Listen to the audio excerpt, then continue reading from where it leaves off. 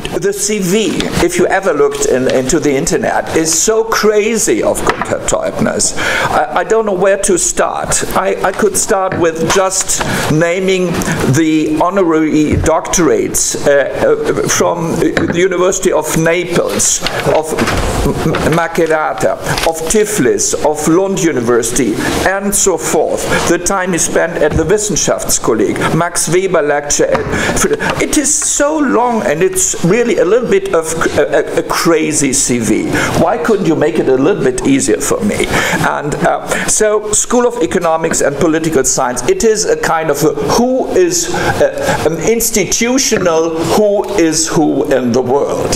And uh, so, so much the more we are really glad that you come to us, and we know in the same time that you're a ve very uh, modest uh, person uh, as a personality, and this may even be found in your last work. I can't name and I won't name all the important publications you have done in the field of the theory of law, the sociology of law, and all the prizes you won in this field. But I would like to talk about the last book that may also be related to the topic of today. Verfassungsfragmente. How modest the title is. To speak about fragments when we have constitutionalism as a cultural idea that embraces the whole world and uh, uh, fragments that come from a romantic tradition, as I said, but where you put a very, very, very, very strong point by saying we have to take the concept of Verfassung, of constitution, much more seriously because it goes, the notion of Verfassung, that's the starting, one of your starting points, goes beyond just the constitution of the state, the institutional arrangements, and even goes beyond individual human rights and so forth. It means much more. But what does it mean and how to bring those fragments to, together where I would have liked to give another title to your book as I said yesterday Fragment d'un discours constitutionnel. So that's your uh, way now to uh, to tell us how you bring together externalizing normativities and uh, constitutional context. Okay. Thank you, thank you very much. I think you forgot one thing uh, to tell about me. That you're I'm, a tourist, yes. No, no, that I'm an Ossi, and an Ossi is not an Australian. Uh, this, this, explains perhaps also the fragment character. Um, Jean Paul, a famous, a bit weird German poet of the 19th century, once said, um, Witz ist das Bemerken, uh, der Verbindung zwischen entfernten Ideen. Witz, so wit is not quite the tra translation, but wit is to, to, to, to perceive the connection between different, very distant ideas, very distant ideas. And I want to be witty, so uh, what I want to make is to establish a connection between four remarkable but rather distant phenomena whose interpretation is subject to considerable uncertainty. The first remarkable phenomenon is that judge made law is now expanding drastically also in transnational contexts. It was all already offensive enough in the nation state that the courts, which are, after all, la bouche de la loi, produced more and more legal norms on their own. Yet now we find that this trend is continuing unfettered and even accelerating in transnational regime. First. Second, it has recently been possible to observe a striking return of natural law. While philosophers, historians, and legal theorists have always said, well, there's the demise of natural law, jurisprudence scholars and some judges have been celebrating the resurrection of arguments grounded in natural law. And this is not only in the sustained boom of fundamental and human rights. Third phenomenon is a change in direction among protest movements, which some observers interpret as the implementation of a new political quality. The conflicts in which these changes have been found are Brent Spar, the World Social Forum, Gorleben, animal rights protest, uh, company Sachs Com, Stuttgart 21, WikiLeaks, the Indignados in Occupy Wall Street. So the common denominator is that these civil society protests are addressed not only against the state, but also selectively and purposefully against the organized professional institutions of the economy and of other functional systems that they hold responsible for seriously distorted developments. And the fourth remarkable phenomenon is the greatly different status of various types of constitutions the state constitution, the economic constitution, and the constitution of science, for example. So the dominance, if not exactly the monopoly of state constitutions, is obvious, both in practice and in theory. The status of economic constitution is already more precarious, and the existence of the constitution of science is really maintained only in a metaphorical sense.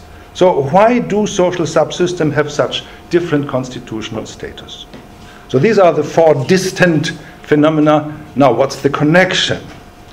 So, my thesis is how a constitution deals with its foundational paradox. This is the point that links these four reciprocally separate phenomena together. So the point is not restricted to the state constitution alone, but it's also applicable to the constitution of other social systems. Starting point, the incurable starting point is Niklas Luhmann's theory of the state constitution, which gives a central role how law and politics are dealing with their original paradoxes. As the law is founded on the binary code of right and wrong, it gets into a tangle when the code is inevitably applied to itself in the paradoxes of self reference. This foundational paradox of law exposes the law to the suspicion of arbitrariness, undermines its quest for legitimacy, and paralyzes decisions. And in the end, only one strategy of deparadoxification has been found to be successful in the past law externalizes its paradox toward politics with the aid of the state constitution. In this way, the law seeks its ultimate legitimation in democratic politics, is thus disburdened of its own problems of paradox, and no longer needs to concern itself with how politics comes to terms with externalization. Politics, on the other hand, has to struggle with an internally insoluble paradox the paradox of the binding of necessarily unbound authority, the paradox of sovereignty. How could one bind the sovereign to rational rules and, above all, to his own promises? This was only facilitated when it was externalized to the law, which once again was accomplished by the state constitution. So the Constitution commits politically unconstrained sovereignty to the processes of law. So the state constitution can be seen as a structural coupling between the law and politics, and it's characterized by the fact that there is a reciprocal externalization of the original paradoxes of politics and law. Now, my question is it possible to generalize this theory of the political constitution? Do other social systems externalize their paradoxes toward the law and vice versa in such a way that alongside the state constitution, other subsystem constitutions the economic constitution, a media constitution, organizational constitutions also act as instrument of practical paradox management. So let's first talk about the deparadoxifications of law. Again, the state constitution. Externalizing the legal paradoxes toward the political system of the nation state was such a success story in the past that until the end of the 20th century it was advanced not only in constitutional law but across the board in all fields of law. It already becomes, became obvious in the nation state that the total externalization of legal paradoxes toward the political system would end up uh, overburdening both the law and politics. The over politicization of law, thus, this unleashed demonstrated disintegrating effects. Externalization became almost impossible when transnational regimes began to create their own law. Rulemaking outside the framework of international law that occurs so massively all over the globe reopens all the problems of the legal paradox which had been encountered in the nation state before they had been successfully transferred to politics. So globalization, in a sense, reopens the paradoxes of, of law. Now, social constitution. In, this, in the quest for alternative ways to cope with the legal paradox, the law seems to react by forcing an internal differentiation into legal subsectors. But then, instead of orienting these subsectors on criteria internal to the law, it bypasses the political system and bases its norm production on other social systems. This is already apparent in the nation state when semi autonomous subsectors of the law, such as economic law, labor law, social law, medical law, media law, and science law, evolve vigorously, undermining the traditional separation of public law and private law. Although these special legal fields officially preserve the externalization of law toward politics, they actually reduce it progressively in a surreptitious manner, shifting the paradox of forming norms into, away from politics, but into the regulated social system. So the law's internal differentiation is promoted even more radically at the transnational level. Diverse social fields are governed by highly specialized legal regimes, the famous fragments, that are to a considerable ex extent detached from public international law and now coupled closely with the inner rationality of the social fields involved. Public regimes, such like the World Trade Organization, that have come into being as treaties in international law, marginalize the paradox externalization to politics that had been initially present in their contact to international law. In private regimes, such as the Lex Mercatoria, the Lex Sportiva, or the Lex Digitalis, the original paradoxes of these transnational legal orders are displaced from the very outset into the social fields with which they have entered into a close symbiosis. Since the application of the legal code to itself not only introduces the abstract question of law's legitimation, a kind of founding myth, which is no longer answered with the legislator's will, but more probably with the inner rationality of the social subsystems involved.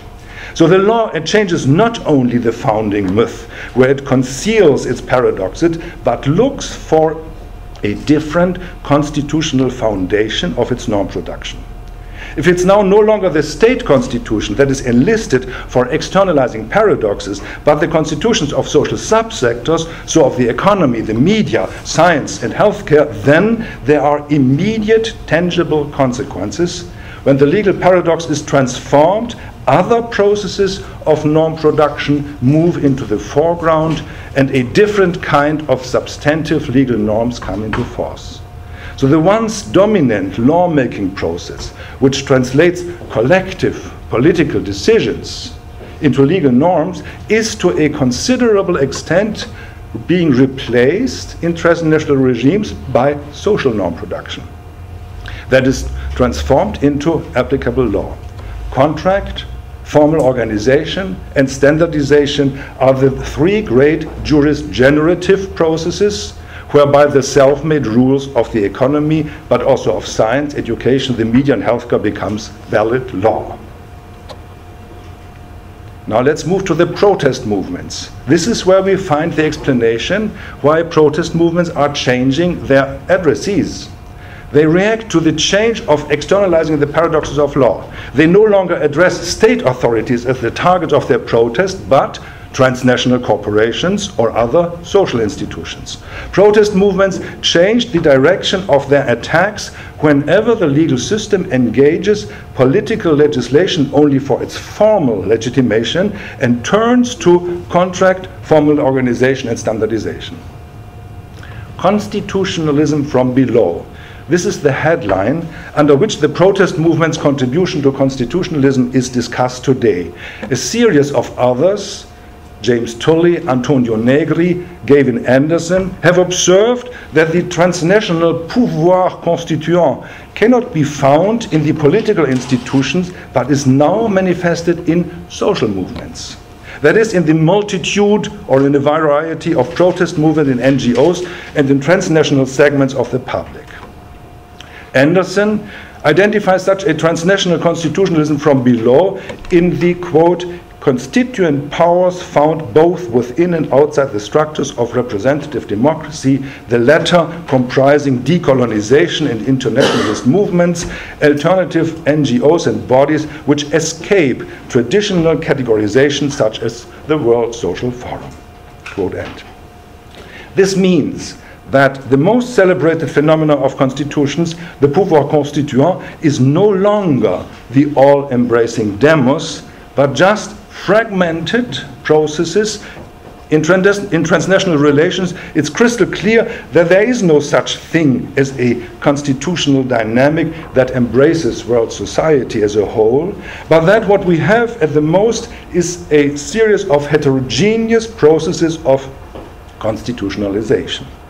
This gives up the traditional notion in which the political constitution provides the, the collective energies of a society as a whole with a form that encapsulates it, in the past as a nation or now as the international community. Instead, modern society's collective potential is no longer available as a unity, but, but is increasingly compartmentalized in the multiplicity of social potentials, energies, and strengths. So law will then no longer seek its legitimation primarily through the political constitution, but through sectorial constitutions. Now let's move to the other phenomenon, judge-made law. This now illustrates how the expansion of judge-made law relates to the externalizing paradoxes. Judge made law is now beginning to play an unprecedented role. It is no longer just producing self referentially the rules of the case law in litigation so as to solve individual conflicts. It now also takes on board the social norms produced by contract, organization, and standardization deriving from this different form of legitimation that is no longer legal nor political, but social. Now, case law takes over a genuine constitutional function. However, it does not derive its norm from the state constitution, which is only a partial constitution, but from the constitution of various social subsystems. This comes, of course, most clearly in one of the most important 20th century institutions of private law in the legal control of standard contracts. Remember this the small print stuff which we never read, but we are always exposed to it, right? Also on the internet. So under, under the guise of contracting, under the guise of contracting, markets have developed authoritative private regulations that no longer govern an individual contractual relationship, but have practically all the characteristics of general legislation. Judge-made law now reacted to these privately imposed norms by taking on a dual constitutional role. On the one hand, it legitimates this form of one sided norm production backed by economic power, whose problem it downplays by labeling it still contractual. It uses secondary rules uh, regulate private norm uh, production. On the other hand, the courts intervene wholesale with strict judicial reviews in the economy's self-made law, whose intensity is on a par with the constitutional reviews exercised on political legislation. Uh, you see the parallel. Standardized contracts are nothing but private regulation of markets, uh, quite similar to general legislation. And here we find suddenly a new the legal hierarchy of higher norms and the courts controlling via higher norms this uh, rule production. Judge-made law plays a comparable role in other social areas when it subjects norm production in all sorts of social organizations based on private law, hospitals, universities, trade unions, professional associations, media concerns, and recently internet intermediaries to a comprehensive legal review. Here too, it fulfills the dual constitutional function just mentioned. On the one hand, normalizing the procedures of social normation through quasi contract. On the other, checking the substantive norms of internal organizational law for unconstitutionality. On the global scale, law can externalize its paradox toward politics within, only within extremely narrow confines. Instead, various transnational regimes' uh, own constitutions cause the regime law's original paradoxes to disappear as they relocate them into their respective social systems. The paradigm here is again the lex mercatoria, which gives form to contrat sans loi, something which is almost impossible in the law. How can you have contract without the backing of law, right? So this is to free floating contracts without any extra contractual foundation. This evident paradox can no longer be accommodated in the law of the nation state. In a remarkable circularity, it relies on courts of arbitration that it has created itself to produce not only material norms but also higher ranking constitutional norms, right? Next phenomenon, natural law. There's a clear connection between alternative ways of externalizing paradoxes and natural law, long believed to be moribund, which is now celebrating its resurrection in specialized fields of law and in the transnational legal regimes. When judge made law gives force to higher ranking constitutional norms, it derives its criteria from the internal rationality of social subsystems efficiency, for example, as a legal principle, the functionality of social organizations, the self definition of art uh, as a legal principle, the neutrality and objectivity of science, the educational mission of the schools and universities, and the network adequacy of internal in internet norms, such formula are constantly flowing into legal practice from the various different social systems and are transformed into legal principles by judge made law, then giving force as concrete legal rules. So, the constitutions, they are constructed as material constitutions as opposed to formal ones because they contain not only formal procedural rules but also substantive norms and principles. There's only one way to explain their highly problematic natural law character today it is not the legal system, but the social system that decides in the course of lengthy conflicts about certain fundamental principles, which are then constructed by constitutional law juridically and at the same time altered for legal purposes. Not only the political system, but similarly other social systems in their own reflection politics develop fundamental principles that are then legally reconstructed in the economic constitution, in the constitution of science, etc., and are used as criteria for the judicial reviews of norms. So the continuity of the natural law thinking is perceptible here. Natural law has always been used to make the paradoxes of self reference in the legal code to disappear. Uh, the validity cultures, uh, they are you know, ways how to conceal the legal paradox. Unlike the old natural law, whose origin were religious, rationalist, or political, it is today feasible to talk in terms of a sociological natural law. Sociological natural law, because it uses societal constitutions to reconstruct the rationalities of diverse subsystems within the legal system and transform them into binding principles. So, so far on the way how the law is dealing, concealing, changing, shifting, dislocating its paradox no longer only to politics but to other social areas. Now let's look in the other direction. How does it look in other social systems? Do other social areas also experience reciprocal externalization so that they in turn cede their original paradoxes to the law? Let's start again with the state constitution. If politics has become independent since the Renaissance, uh, Machiavelli and so on, if it has broken free of religious bonds, if it has ultimately become sovereign and declared itself to be legibus absoluta, then the sovereignty paradox, the paradox of the binding of necessarily unbound authority, comes to the fore in all its poignancy. It is the state constitution that enables politics to master this paradox by displacing it outwards. Politics transfers to the law the task of constraining unconstrained sovereignty, especially by procedural rules, by means of legal procedures, by means of organization as the inner bond, and of fundamental rights for constraining arbitrariness toward the outside. Now let's look to other constitutions. The economic constitution. What role does the law play when the economy has to cope with its own fundamental paradox, the paradox of scarcity? This paradox paralyzes economic action in such a way that acquisition of finite goods does away with scarcity while at the same time generating scarcity. In the past, the only way to overcome this blockage was by replacing the scarcity paradox with a clear cut binary code of property non property.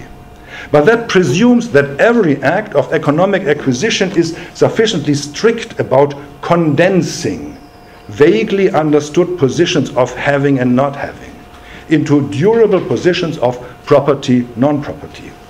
According to Luhmann, this condensation has played a key role in rendering the economy autonomous. Condensing social position into binding certainties cannot be achieved by acts of economic acquisition alone, however. At the most, such acts can generate diffuse social expectations in this direction, but cannot shape them strictly enough to achieve a precarious deparadoxification within three dimensions in the temporal dimensions, property expectation must establish solid bonds that will last for a long time. In the social dimension, they must establish the unambiguous inclusion exclusion of the group of people concerned, which causes considerable difficulties, especially in the case of collective property.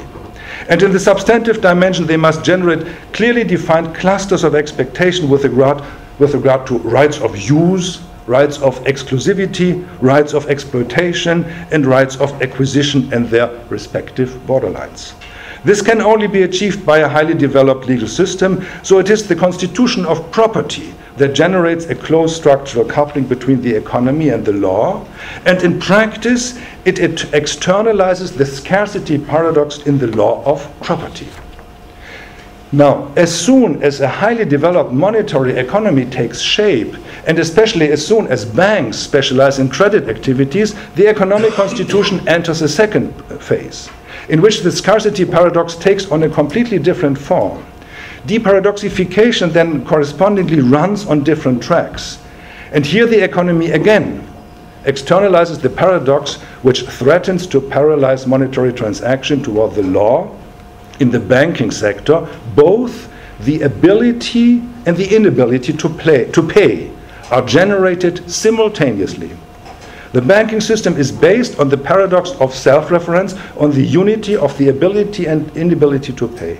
And this paradox can be mitigated, uh, can never be resolved, but mitigated to a certain to a certain extent if the payment operations take on a reflexive mode that is, if operations involving quantities of money are applied to money operations in daily transactions, uh, the central banks. However, these reflexive economic operations remain unstable until an internal hierarchy is created within the banking sector, the hierarchy of central banks in their relation to commercial banks. Yet the banking hierarchy cannot be institutionalized exclusively via self regulation, and this applies in particular to the institutionalization of the central banks. It needs to be supported from the outside by legal rules in order to constitute the unique position of the central bank with binding regulation. So the parallels with the hierarchies of the political system and the role of the state constitutions are evident. The economy, too, only copes with its monetary paradox with the help of the law, which uses the financial constitutions, that is, norm of procedures, of competence of organizations, to regulate the establishment and operating methods of the central banks vis a vis the commercial banks. As an economic corollary to the different branches of government, the executive, the legislature, and the judiciary, now we have the monetative, the monetative, uh, the fourth branch of the central banks is established by the economic constitution. The fact that politics externalize the sovereignty paradox, while in parallel the economy externalized the scarcity paradox, both towards the law, and that in this way the state constitution and the economic constitution fulfill the same function is quite astonishing. And yet, major differences are conspicuous.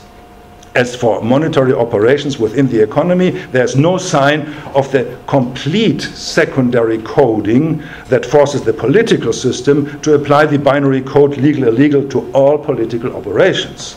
There are basically three reasons for this Firstly, there is no doubt that the economic transactions are regulated by legal norms, but the intense relation between political and legal operations do, does not find a counterpart in the relation between monetary and legal operations. To be sure, economic transactions are valid, valid only under certain contractual conditions, yet in practice, economic transactions are the diametric opposite of the implementation of existing norms. Secondly, while the juridification of political decisions further strengthens their collectively binding character, it would be simply counterproductive for economic action if individual transactions were collectively binding for the whole economy. Only on the micro level is it possible to talk in terms of a secondary legal coding of economic transaction in the form of contractual acts or cooperative acts. Thirdly, the ongoing concatenation of political and economic operations differs one fundamentally from the other. Political decisions have precedential effects on subsequent decisions. If it intends to deviate from them, politics has to go through the entire legal procedure once again, and the deviating decision must be rendered positive with an explicit, explicit actus contrarius. Future monetary transactions, on the contrary, are by no means bound normatively by the previous transaction. Instead, the individual act of payment generates nothing but cognitive expectations for subsequent acts of payment. So far for the economic constitution. Now let's, let's look to science, constitution of science this, this asymmetry of externalization, no? strong externalization of law toward politics or the economy, rather weak, ex strong externalization of politics toward law, but rather weak externalization of the economy towards law is now different again, is even more marked in the constitution of science. To be sure, science also has its paradox of self foundation only scientific operations can determine reflexively what actually constitutes science. So, the validity culture of science. The Cretan paradox, which derives from applying cognitive operations to cognitive uh, operations. You remember the Cretan liar? Uh, said, I'm a Cretan, all Cretans are liars, and so am I lying or not, is probably the best known case of a self referential paradox. But unlike politics and the economy, it is mostly impossible to externalize the scientific paradox towards the law. Normative stipulations which are legally or constitutionally binding and which can be changed only with difficulties are self destructive for science it would actually be absurd to interpret cognitive acts as the implementation of rules. Admittedly, even though it portrays itself as undogmatic, non dogmatic, science too is no stranger to extensive norm production. Methods are binding, theories are immunized normatively against a change of paradigm, neutrality, objectivity, and immunity to interests are accepted professional norms and yet, the juridification of such social norms would generate a paralysis irreconcilable with the cognitive style. So, unlike politics and the economy, science cannot pass its paradox on to the law, but has to seek out other ways to achieve the deparadoxification. It finds them mainly in processes internal to science itself, temporalizing the paradox creating a hierarchy of different levels of analysis, enduring contradictions, antinomies, and incommensurabilities, tolerating uncertainty, relinquishing the compulsions to decide, creating a constructivist worldview. These are some of the tools used by science in the attempt to make its paradox more bearable. That does not mean, however, that there can be no such thing as a constitution of science, in which scientific and legal reflexivity are coupled together structurally. It is just the internal asymmetry. The internal asymmetry of their coupling is extremely strongly developed. Only its externally borders, external borders should be protected by legal norms Freedom of science as a guarantee that the cognitive process remains open thus becomes the sole norm of the scientific constitution. So, come to an end. Altogether, then, societal constitutionalism, as exemplified here by politics, the economy, and science, paints a picture of constitutional pluralism, although one that is anything but uniform since it realizes different degrees of intensities of constitutionalization.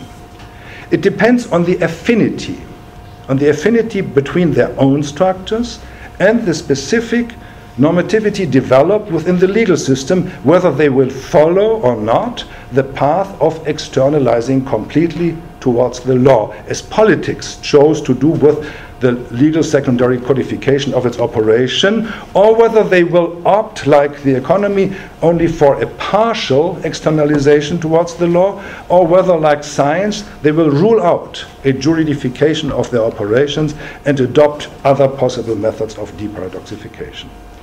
So this shows why the state constitutions occupies a unique position among social constitutions.